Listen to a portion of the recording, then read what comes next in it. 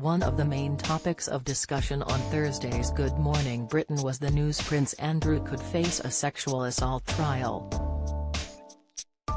Royal expert Jennie Bond stated the Queen will have been left embarrassed by her son's court case.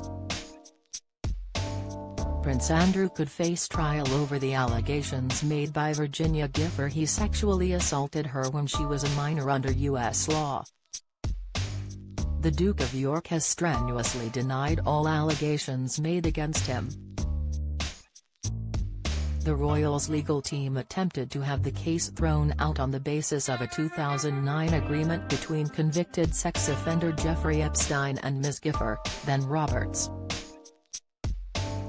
The settlement between Ms. Giuffre and Epstein, who died in prison in 2019, detailed how the Duke of York's accuser had received a $500,000 £370,000 payout in 2009.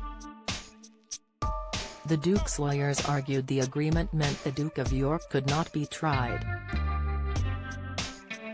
However, on January 12, 2022, a New York judge ruled the court case will go ahead.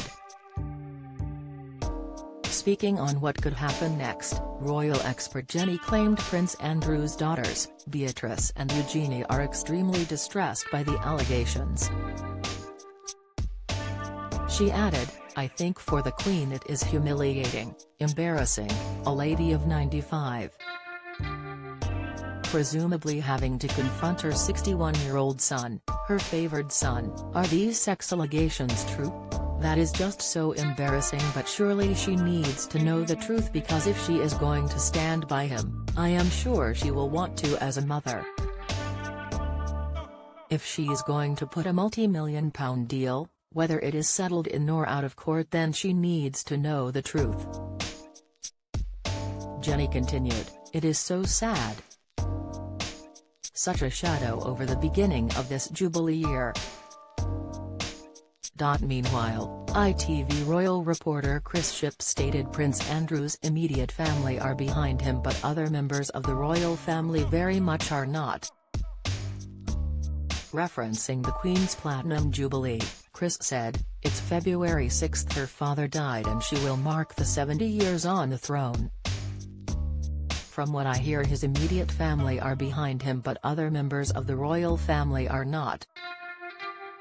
They want to try and end this in whatever way they can. He added, in terms of the damage for the wider institution of the royal family. No, the support he has amongst the wider family is very thin on the ground indeed. Good Morning Britain airs weekdays at 6 a.m. on ITV.